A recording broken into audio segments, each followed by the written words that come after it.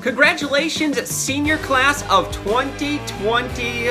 Well, you did it. You are going to go on to do bigger and much better things. Congratulations once again, and best of luck to you.